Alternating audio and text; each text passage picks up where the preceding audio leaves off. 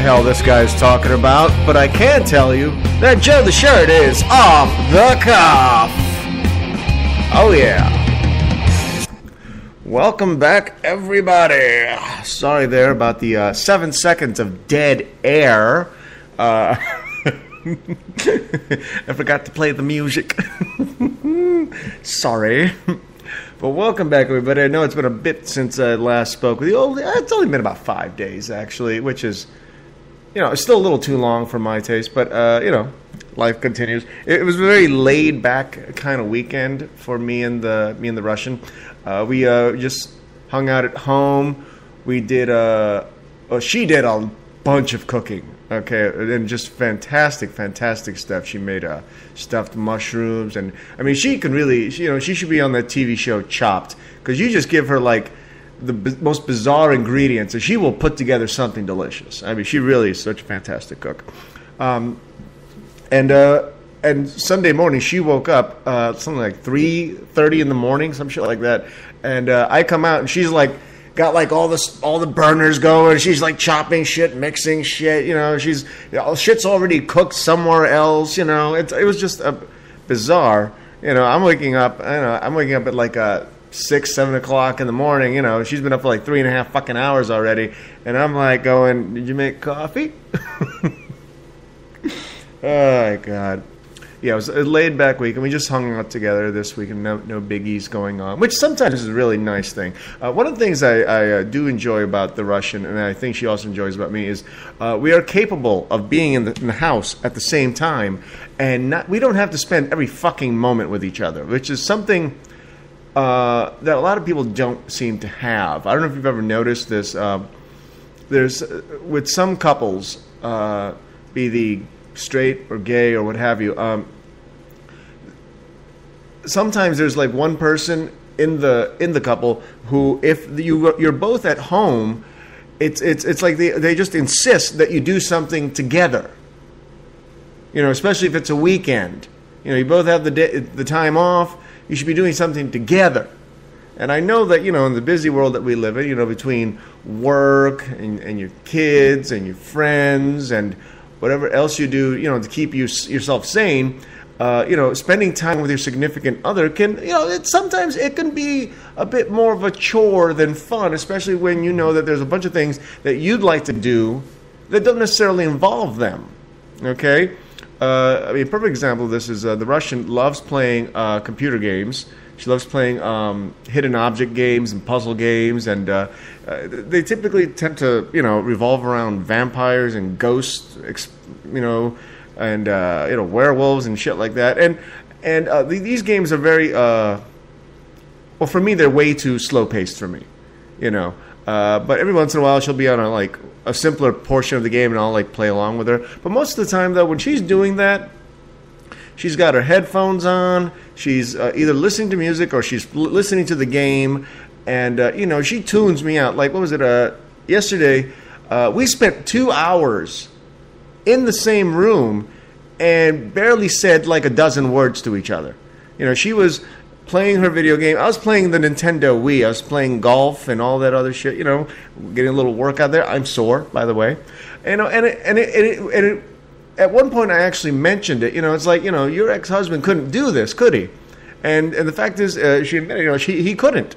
You know, because he it, it was believed that you know if we're together, we're in the house, we should be doing stuff together, or it's the weekend, we should go out and do stuff together. And plenty of plenty of times, I'll ask my girlfriend, "Hey, you want to go on a walk with me and the dog, or you want to go see a movie or whatever?" And she's like, "No, I." I need my Sunday to just be for myself and just relax and just you know defrag and you know and that's fine you know I mean the truth of the matter is if I really want her attention and for her to do something with me I can get her to do something with me you know but uh, but I understand I truly do uh, alone time is very important to any healthy relationship it really is um, and and and we we have the uh, distinct ability we can have alone time in the house we have a big enough uh, place here where she can be in one half of the apartment. I can be in the other half of the apartment. Right now, I cannot see her. I cannot hear her. You know, she's in the other side of the apartment. She's in the she's in the office. I'm here in the, living room, you know, and doing the show here for you guys. And you know, this hour is for me to do this, and uh, she's uh, finishing up some stuff from work, which she needs to do. And you know, it would be very selfish of me to just go in there and insist that she pay attention to me, you know, because I've been home all day. I've been doing stuff in the house all day, and now is this is the first time that she's been home, and I want her to pay attention to me. But that's selfish. But it's you know, and uh, the fact that she is doing this work in the other room lets me do this because I had no time earlier in the day. I was way too busy.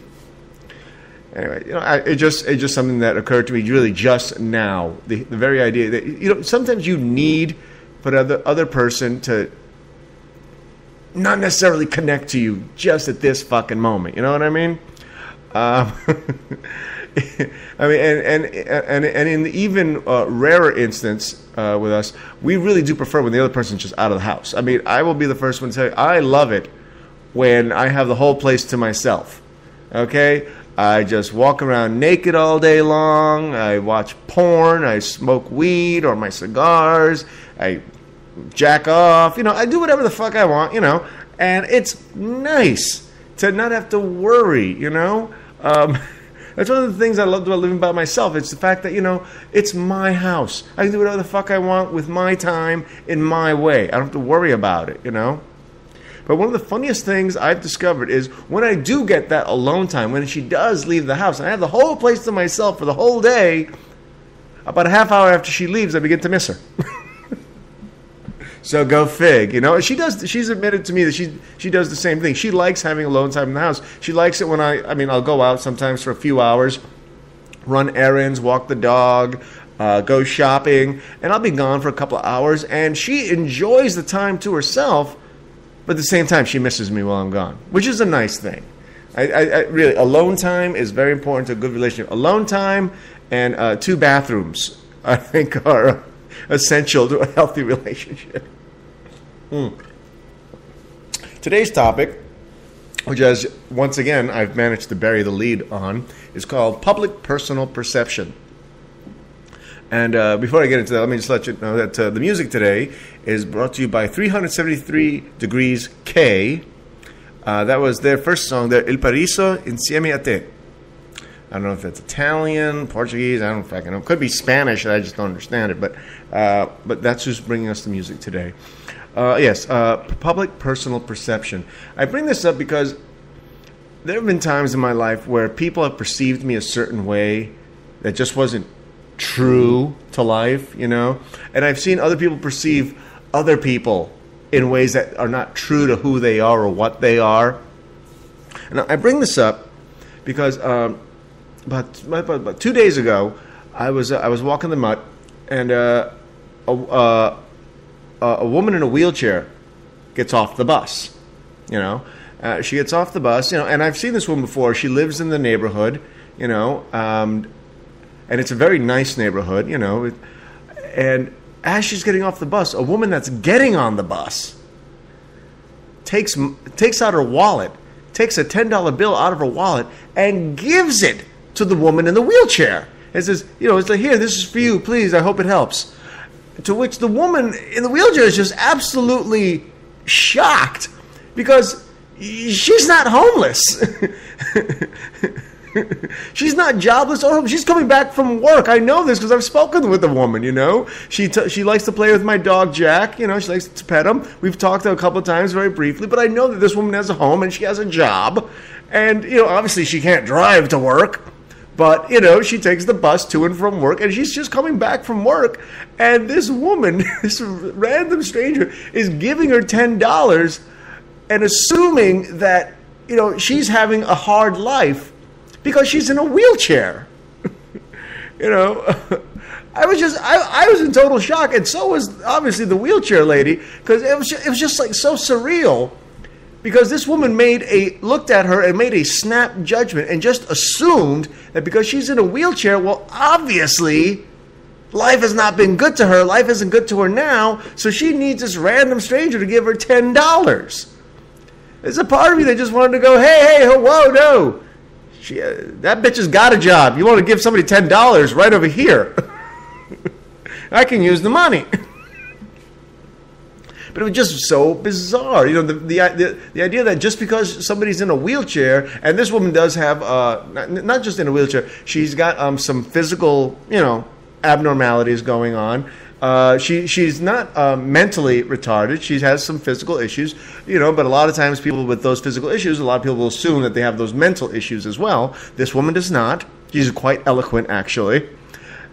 But you know, but she, uh, yes, to to to by to the naked eye, a lot of people would like just assume a lot of things about what her mind may be like. You know, what her life is like. You know, but and I just I just thought about it. It was just such a such a bizarre snap judgment for somebody to make, and then to actually just give her money. And and she she really she literally just jammed ten dollars into her hand, and then got on the bus and then left. And the woman's like going, "Hey, no, wait, no, I don't need this. No, what where are you going? No, what what what?" I was giggling my fucking ass off. Uh, I, I've had a similar I've had I've had a lot of misperceptions about uh, myself. Um, one of my favorites occurred about mm, two or three years ago. Uh, like most guys, I have a uh, I've had we, we tend to develop our favorite pair of jeans, and now these are usually the rattiest, dirtiest, holiest, most run down, worn out, ripped pair of pants that we own. But we love them. Why? Because they're soft. They're soft and they're comfy, and we've had them since like before our own mothers were born. You know, we, we just love these jeans, and every guy has at least one pair of these. Okay, unless they're gay. Gay guys don't tend to have these kind of jeans, but straight guys will. And I and I was wearing these jeans, and I was wearing. Uh, I had uh, I had been uh, you know I've been cleaning in the house that day, and I was wearing uh, an old dirty T-shirt, and uh, I was walking my dog, and uh, and I- and my and my sneakers were pretty beaten up too, and this woman walks up to me and offers me two dollars, and and she she just puts it in my hand and said, "Here, this is for your dog to feed your dog. Okay, make sure you feed your dog." Um, and and and I'm looking at her, and I, and by the way, I did take the money. Don't get me wrong, I took the fucking money. And to which I said, um, you know, I tied my dog off because I'm going into CVS because I'm going into to buy shit, and I go, uh, thanks, but uh, I'm not homeless. I'm just I'm just dressed like shit today. I mean, thanks, but and I and I walked in and I kept the money. I didn't give the money back to the fucking bitch, you know, because she looked at me and just assumed that I was homeless. You know, yeah, I, I'm wearing I'm wearing shitty jeans, a dirty T-shirt, fucked up old shoes. You know, because I was cleaning the house, and then rather than like, you know, uh, take a shower then go out, I wanted to go out, get the shopping done, and then go home and take a shower. But no, this woman just saw me and just naturally assumed that oh, he must be homeless. He looks like absolute caca. and yes, I did need a shave that day. It it, it, it just Oh, it confounds me that how people just come up with these. And I got a couple more examples of this coming up, all right? But we're going to take our first break right now. Uh, this is more 37 373 Degrees uh, K and their song Lascia Che Sia. I'm Joe the Shirt. I'm off the cuff, and I'll be right back.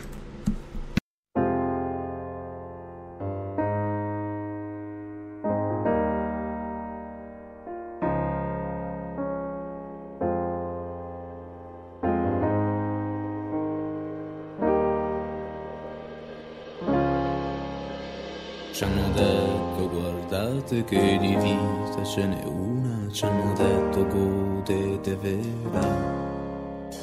Ci hanno detto andate dove non c'è la luna, ci hanno detto la vita sta là. E se sei solo come un cane guarda non disperare che comunque da tempo si sa. Se qualcuno da fregare, qualcun altro da non amare, sta tranquillo, qualche stronzo lo sa. Lascia che sia.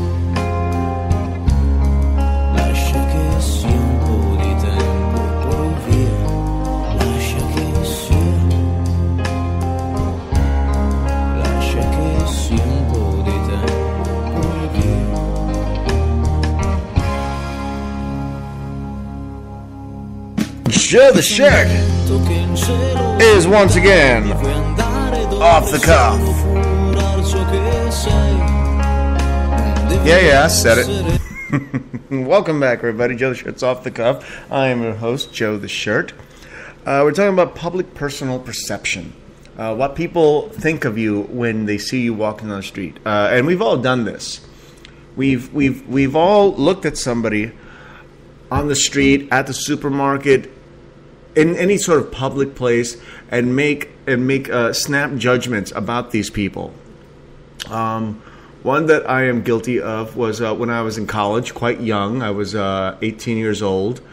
Uh, I went I went to college, and uh, I was there with my best friend uh, Tony, and we he was there a year earlier than me and we're in line. You know, we're we're, we're, at the, we're at the cafeteria waiting to get our grub. You know, and we and I see this guy, this very very very very muscular tattooed guy, uh, working uh, in the cafeteria. And to which I say to my buddy uh, Tone, I go, "Tone, check out Mister Done Time," at, you know, a reference to that he's been to jail most likely. Um, and he looks at me he's like, You're just assuming that that guy's been to jail because he's really, really muscular and he's got a lot of tattoos and he's black. And I go, Well, yeah. That and the dreadlocks, probably, you know. And uh, I was making a joke, but there was a small part of me that was actually really decently serious about it, you know, because I, I was assuming that this guy looked like he had been to jail. It's an old joke that uh, Dave Chappelle talked about and uh, Chris Rock. How you see a really, really muscular uh, white guy with tattoos, you just naturally assume, wow, that guy really works out.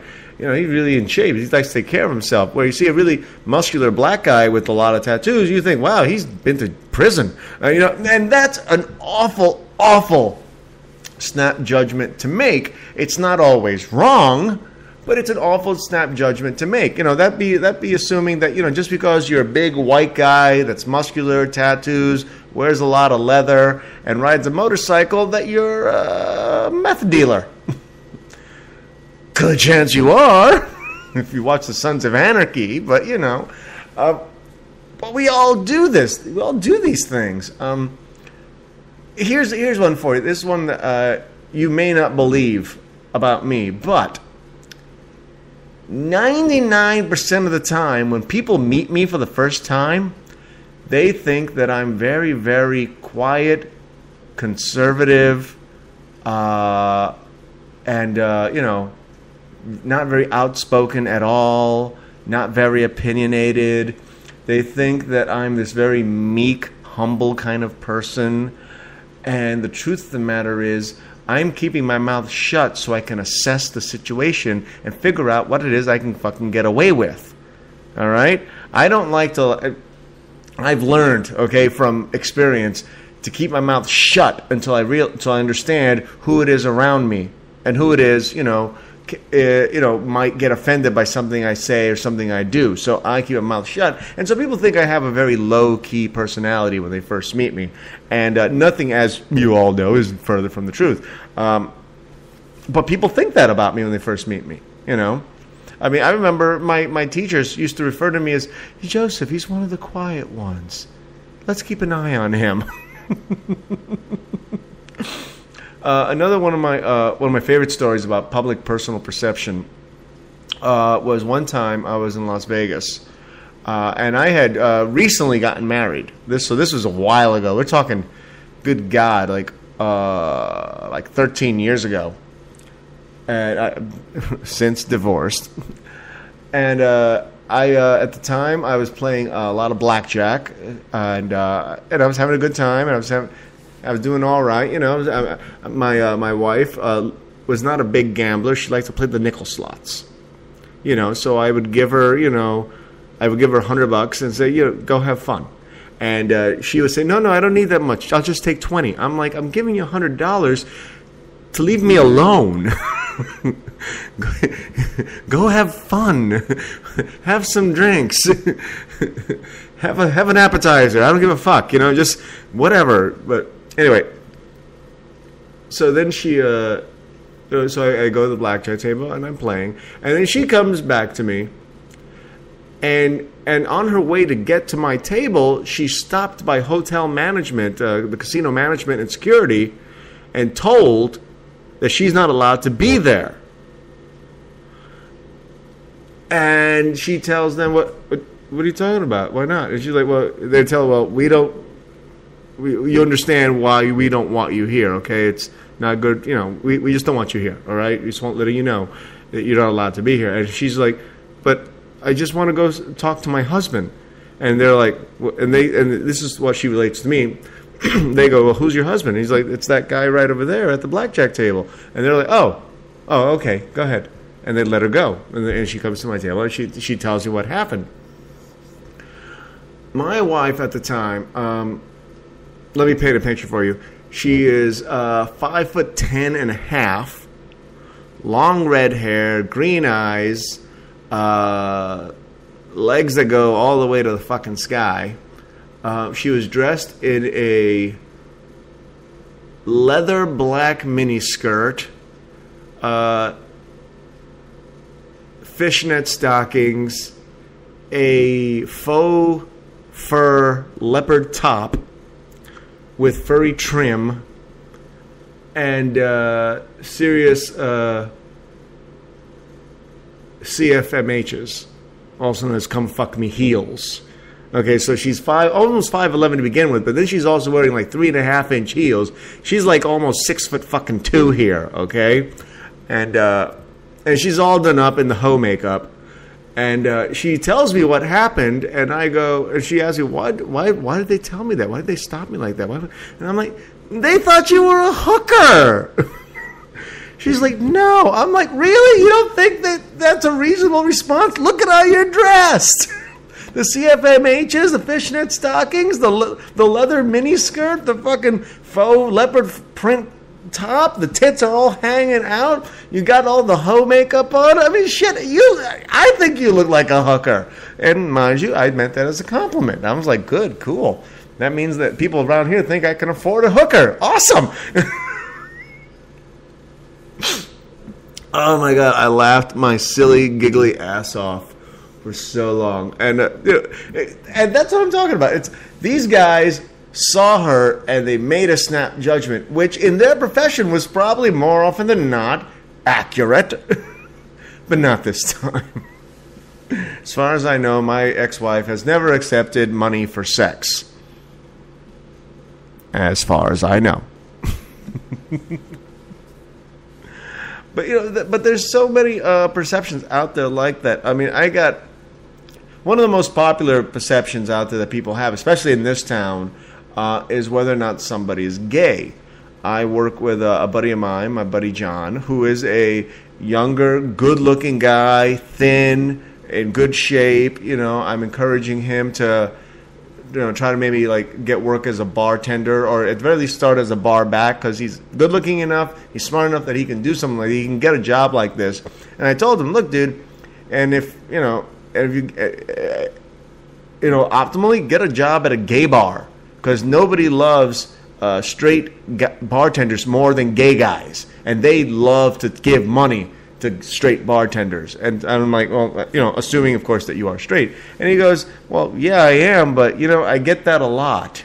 And I'm like, well, you know what it is? I mean, you're young, you're thin, you're in good shape, and you're a good looking guy. So, you know, yeah, and, and, and, and in this part of town, this being West Hollywood, it's not that far to the realm of possibility that there's a good chance you're gay.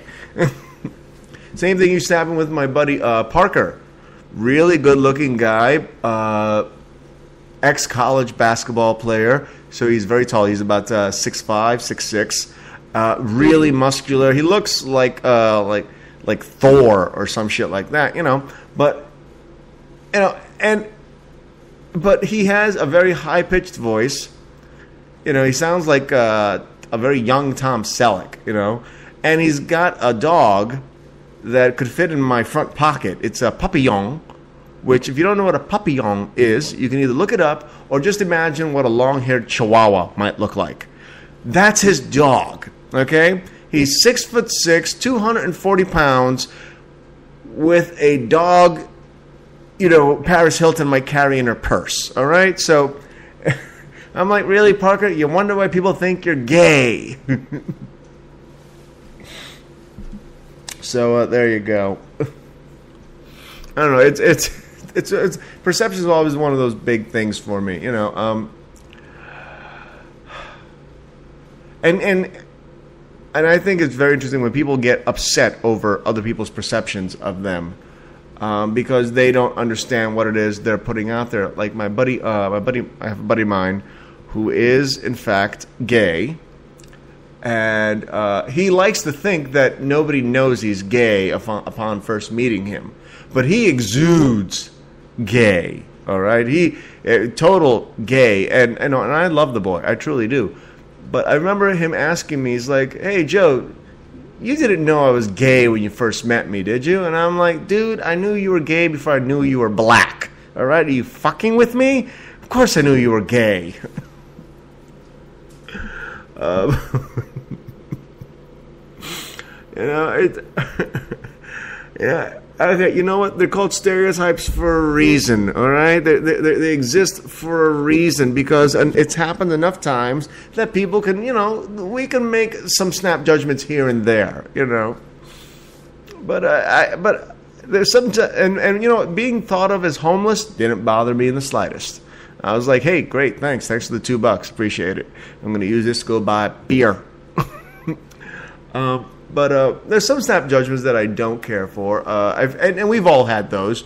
I mean, some snap judgments that are just so personally offensive that I, I, I get very angry at. Um, one time, uh, I was hanging out at my buddy's place, and uh, I was a little wasted. What a shock! And uh, you know, there was a woman there who uh, I knew had, you know, had a little bit of a little bit of the hots for me but um, I had no real interest in her. She, I did not find her attractive in any way. I mean, she wasn't ugly, she wasn't fat, she wasn't, you know, whatever. She just didn't do it for me. Okay, I knew plenty of guys would love to bang her, all right, but I, it wasn't for me. So I'm hanging out there. I'm like sitting on my buddy's bed, you know. He's in the other room, like mixing up drinks, and uh, she gets into bed with me and starts, you know giving me the little feel around, and I was like, whoa, whoa! I get up, I just left the room, and the next thing I know, you know, she's telling everybody I know that I'm uh, that that I hate women, that that, I, that, that I hate women, or that I'm possibly a homosexual. I'm like, no. That just means I didn't want to have sex with you. And believe it or not, the shirt here, your pal, the shirt, Joe, the shirt, has been known to turn down women.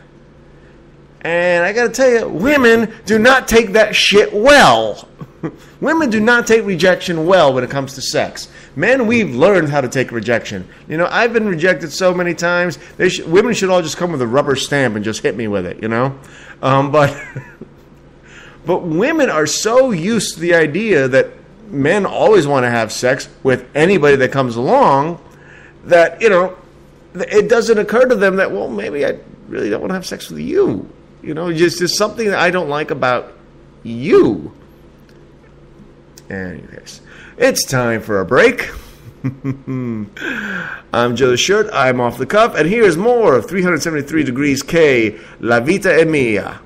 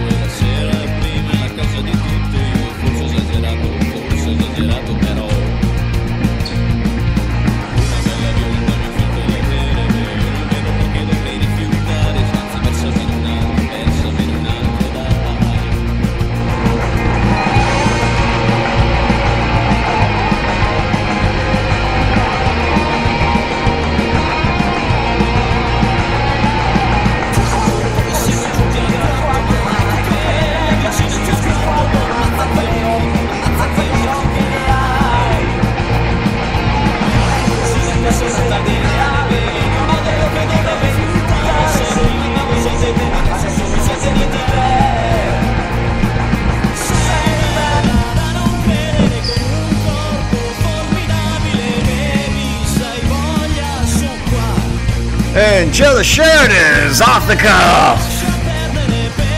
Welcome back. uh, oh my god. I think I forgot to turn off the uh, silencer button. You guys could hear me, I think, having a sip of my beer, opening up the can, cracking it, you know, having a drink.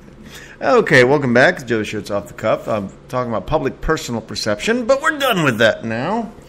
Okay, I want to talk a little bit about animal rights. Um, now, as you know, I am a big animal lover. I am. They're delicious. Um, I kid, obviously. Actually, no. I mean, they are delicious. But um, here's the thing. Uh, I do make a very distinct distinction between us and them. Uh, I I see the d- distinct distinction between humans and everything else. I'm not saying that we're not all connected. I'm not saying that we aren't related in some way, that there's a cause and effect involved in how it is we treat every other species on this planet. Uh, that being said, I also understand that, um, like every other species on the planet, I care about mine the most. And considering how much I don't care about so many members of my species, yeah, you'll you'll have to put that in perspective when compared to how I feel about other species. Period. All right. Now.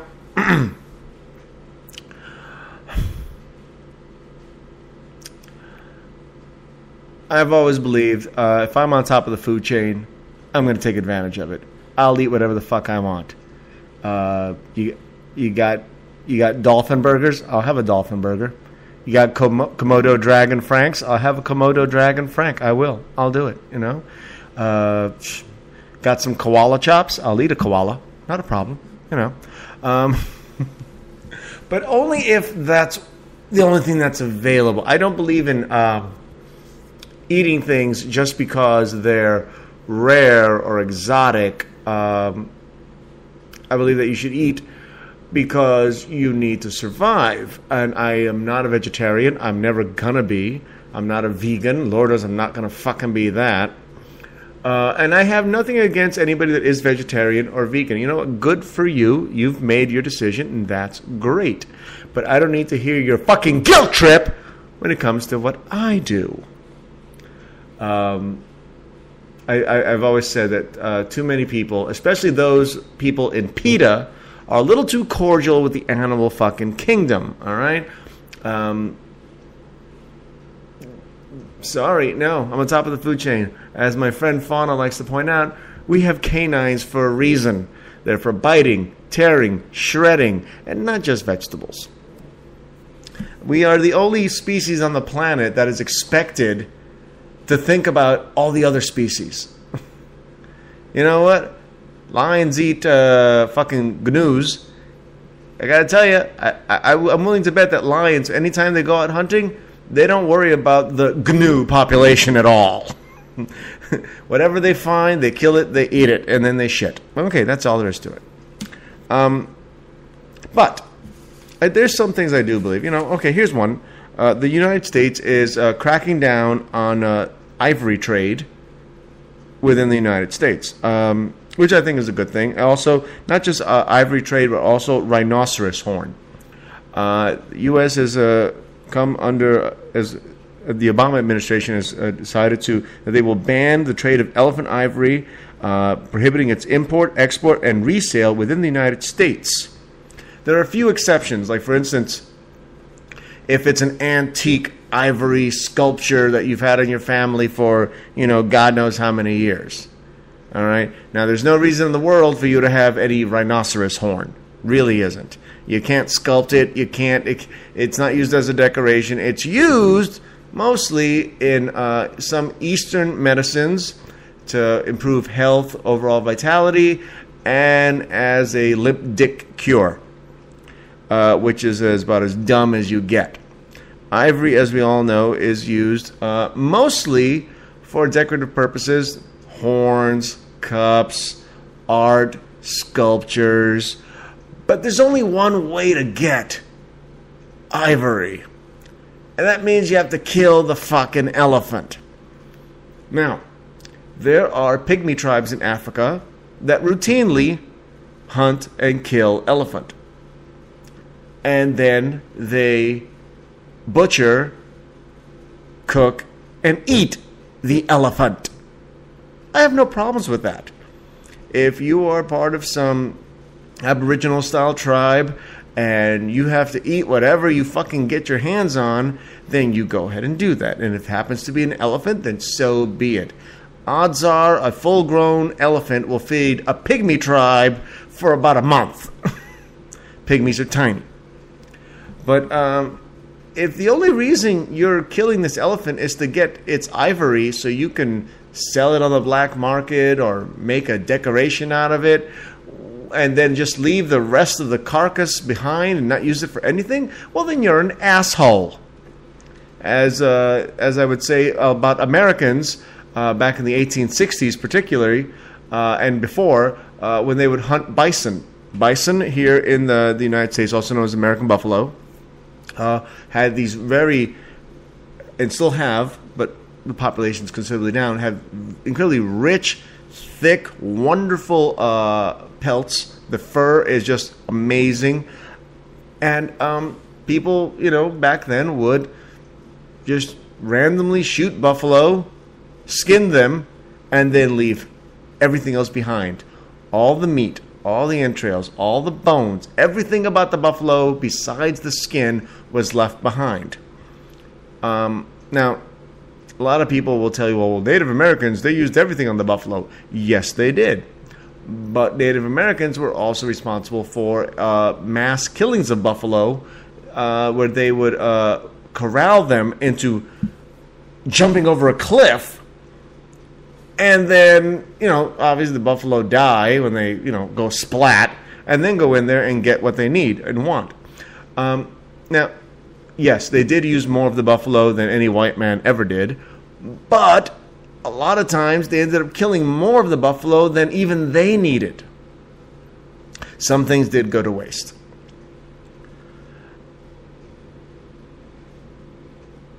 A friend of mine recently, you know, made fun of me, you know, because I posted a video of uh, puppies from the place I work at, and she, you know, asked, said that you know I wouldn't have it in me to uh, kill a puppy and eat it. And uh, the truth is, yes, I do. You know, I grew up, I spent time on my grandfather's farm. I cut the heads off chickens. I, uh, I've gone fishing and I've gutted and filleted my, and, skin, and scaled my own fish. I've skinned animals. And, you know, but these, but in every case, these were animals I was eating. Uh, one of the uh, biggest telltale signs of a serial killer is is their ability to disassociate themselves from their victims. Um, and that's how I learned to be able to gut a fish or chop the head off a chicken or skin an animal is because I disassociated myself from the being that it was. I treated it as a thing, not as a living, breathing pet or a cute little bunny or whatever, but I disassociated myself from it and I was able to kill it and skin it, scale it, cook it, and then fucking eat it. I was able to do that. Um, and we're talking about some cute animals in there, but I was able to do it. You know, and so I, I take a back, I take a uh, slightly aback view of animal rights. I believe in animal rights. I truly do. I don't think that animals should not be killed for no reason whatsoever. Killing them for food, I'm good with that. Killing them to survive, I'm good with that killing them for decoration, for sport, I'm not good with that.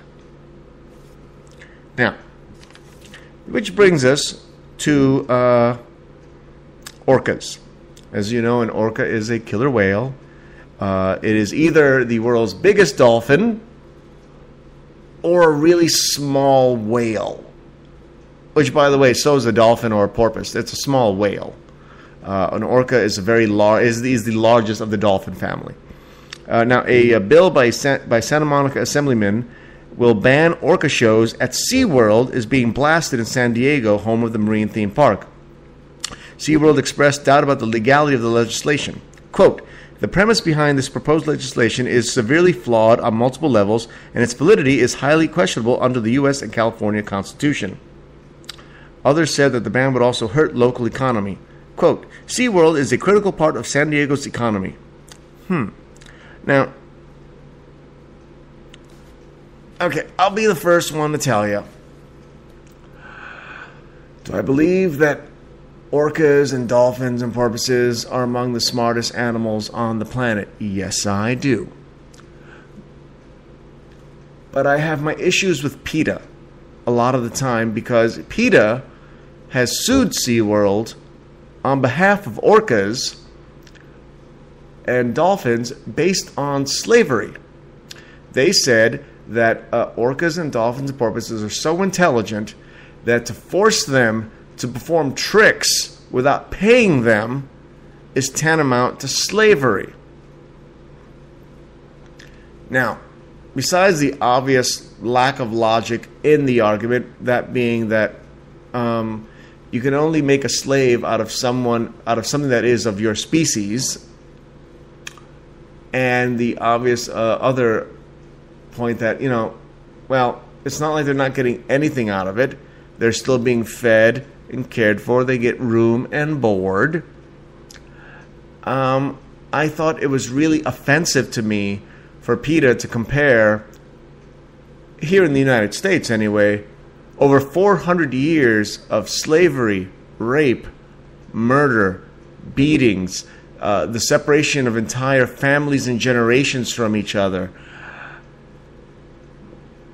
to a few whales. Look, I don't mean to diminish the plight of the orcas or the dolphins, but um, I don't think it's fair to compare them to human beings. They're not. People, we're on top of the food, the food chain. We run the planet. We run the planet for a reason, okay? And if orcas could find a way to kill and eat you, they would. If orcas could find a way to exploit us to service them, they would. If orcas could find a way to get us to like, you know, go swimming and make funny noises and balance a ball on our noses and they would get paid in fish, they'd do it. You cannot be overly cordial with the animal kingdom. That's all I'm saying here. And that's my time for today, actually. Our uh, last song today is not by 373 Degrees K, it's by 857.